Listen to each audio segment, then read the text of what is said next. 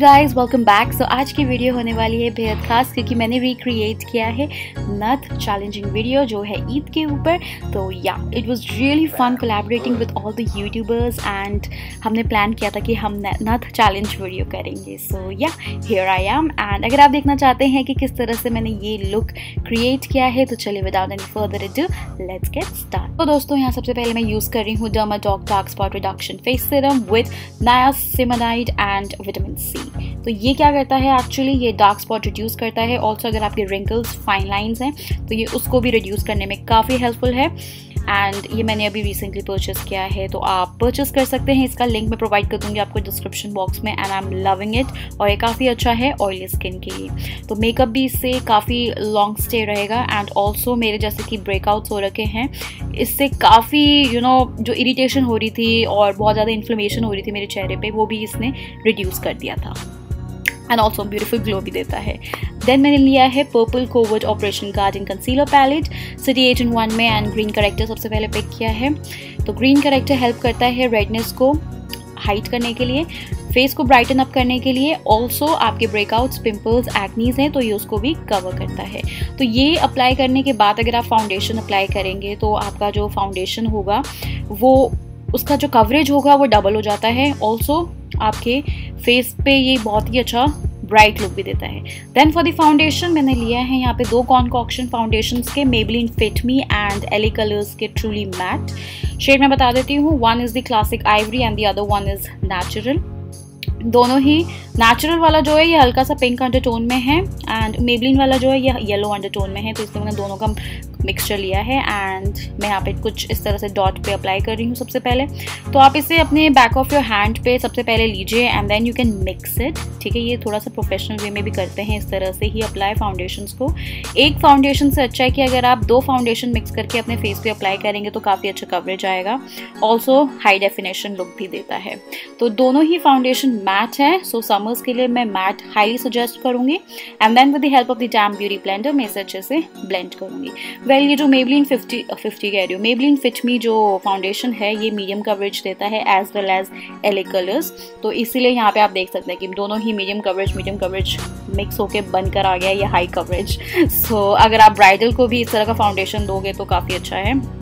और क्योंकि कवरेज इसका काफ़ी हाई हो जाता है after mixing both the shades and या यू कैन सी डिफरेंस काफ़ी ड्यूवी लुक भी देता है इस तरह से क्योंकि अगर आप प्राइम सिरम अप्लाई करेंगे तो सिरम की वजह से ही आपका फाउंडेशन भी ड्यूवी देता है। देन फॉर द कंसीलर मैंने लिया ये एल कलर्स का H D concealer natural shade में है एंड मैंने अपने यूजुअल हाईलाइट एरियाज़ पे अप्लाई किया है।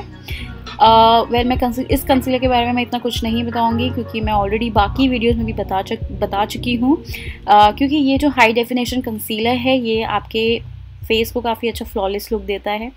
एंड फिनिश जो होता है इसका काफ़ी अच्छा एच डी फिनिश देता है। ऑल्सो ये अगर आपके एक्नीज पिम्पल्स इस तरह के आपके प्रॉब्लम है डार्क स्पॉट्स हैं आपके फेस पे तो उसको भी अच्छे से कवर कर देता है। So that's why we do conceal then for the powder मैं यूज़ कर रही हूँ आज Swiss Beauty prime and set primer and mattifying setting powder ये ट्रांसलूसेंट आई मीन ये वाइट ट्रांसलूसेंट है। काफ़ी सिल्की स्मूथ है तो ये अप्लाई करने के बाद वो जो वाइट सा हो जाता है पाउडरी सा वैसा नहीं लगता है ये क्योंकि ये स्किन पे काफ़ी अच्छे से अब्जॉर्ब हो जाता है। तो I like this type of you know setting powder Now we're gonna do our eye makeup. So eye makeup के लिए मैंने यहाँ पे आज यूज़ किया है फोकलोर टर्की पैलेट इसमें से आपने जो सबसे पहले ट्रांजिशन um, शेड देखा which was Antalya no no सबसे पहले मैंने लिया है यहाँ पे baklava as the transition shade and उसे with the help of the blending brush मैं यहाँ पे अपनी क्रीज पे अप्लाई कर रही हूँ। I am not overdoing it crease से ज़्यादा ऊपर नहीं लेके जा रही हूँ मैं यहाँ पे। जस्ट मेरी क्रीज पे ही फोकस रहेगा। क्योंकि यहाँ पे जो ट्रांजिशन शेड आज का होने वाला है, ये थ्री फोर कलर्स का कॉन्कॉक्शन होगा। And this eye look is gonna be really pretty क्योंकि जो मैंने सूट पहना है एंड जो मैंने ज्वेलरी पहना है उसके अकॉर्डिंग मैंने ये मैच किया है eye look now next shade मैंने लिया है अंटालिया जो है ऑरेंज शेड देन वो भी मैंने अपनी क्रीज लाइन पे अप्लाई कर दिया है and am gonna blend it nicely windshield motion में आपको इसे ब्लेंड करना है, आगे, पीछे. तो इस तरह से आपको ब्लेंड करते रहना है जब तक ये जो लाइंस होती है वो ना दिखे, जब तक जो कलर रेशियो होता है वो परफेक्ट ना लगे, आपको तब तक आई को ब्लेंड करते रहना है.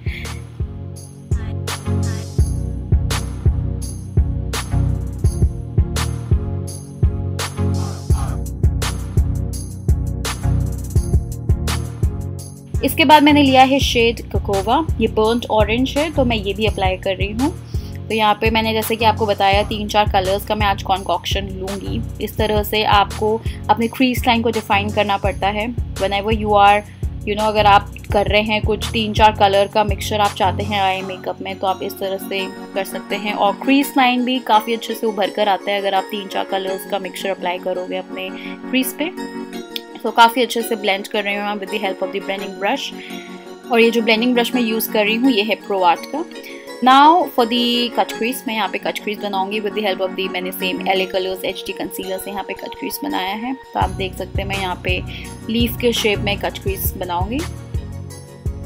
And always use flat brush जब भी आप कट क्रीज बना रहे हैं. काफ़ी प्रिसाइजली बन जाता है इससे.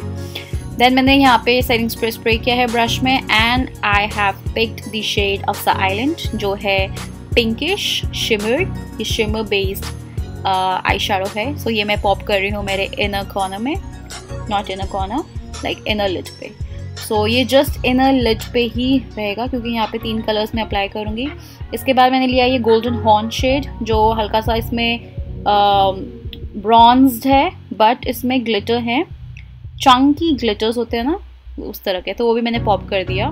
दैन मैंने बबल पॉप पैलेट में से लिया है ग्रीन शेड ये मैट में है। तो इसे मैं अपने सेंटर ऑफ़ माई लिट पे अप्लाई कर रही हूँ।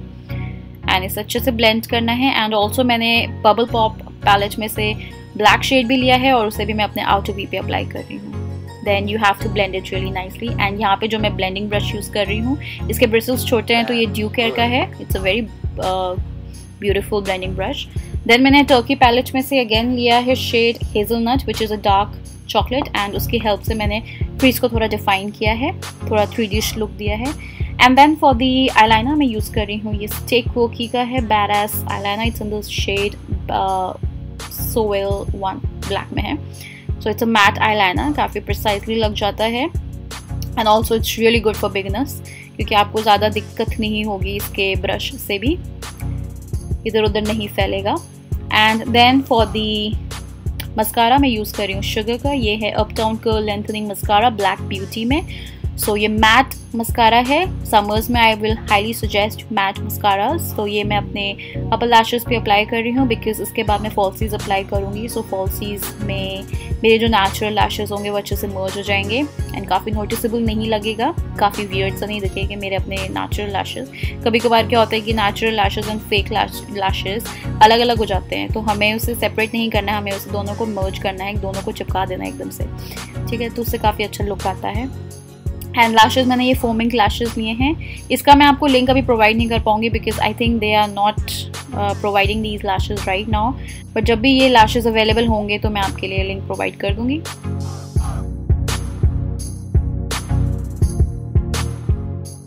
एंड देन मैंने पिक किया है पर्पल की wind beneath my wings eye liner pencil है वाइट में तो बहुत ही अमेजिंग वाइट आई लाइनर है guys it's like a snow white काफ़ी पिगमेंटेड है एंड काफ़ी लॉन्ग लास्टिंग है।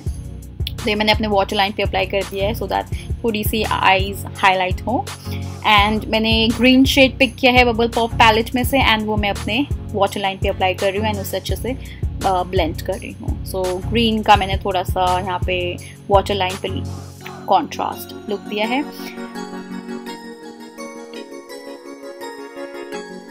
नाउ फॉर द ब्राउज मैं यहाँ यूज़ कर रही हूँ ये वेट एंड वाइल्ड का है retractable brow pencil dark brown में है ये. एंड इसकी हेल्प से मैं अंडरलाइन एंड फिल करूँगी।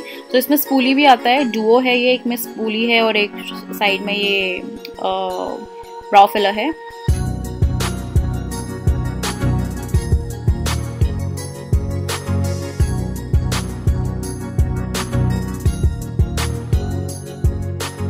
नाउ फॉर द कॉन्टोर मैं यूज़ कर रही हूँ यही सेम पर्पल का कोवट पैलेट सिटी एजेंट में।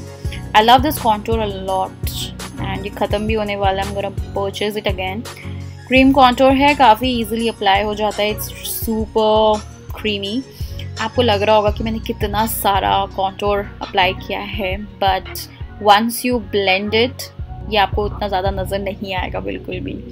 एंड जो शेप होगा फेस का it would be like really cut and precised so sleek that's the word sleek and cut so यहाँ पे अच्छे से मैं अपने कॉन्टो क्रीम कॉन्टो को ब्लेंड करूँगी with the help of the cream contour brush contour brush and nose contour as well don't forget your nose I love to do this if you don't then you can skip it then for the blush मैंने लिया है यहाँ पे ये Makeup Revolution का है baked प्लीच प्लीच peach currently my favourite shade coral shade है ये और काफ़ी अच्छा लगता है ये स्पेशली समर में.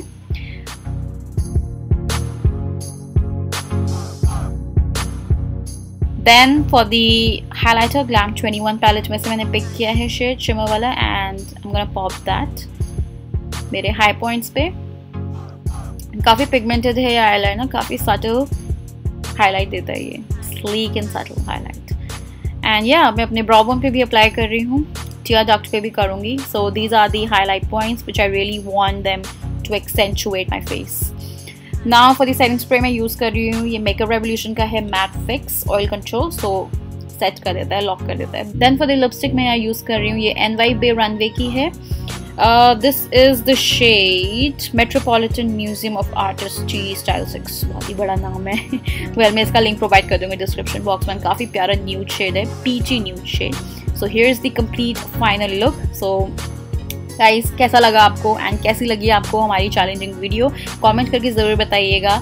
एंड ऑल्सो नेक्स्ट वीडियो आप कौन सी देखना चाहते हैं? Comment below like share subscribe to my channel अब मैं आपसे मिलती हूँ मेरी नेक्स्ट वीडियो में। Bye guys love you so much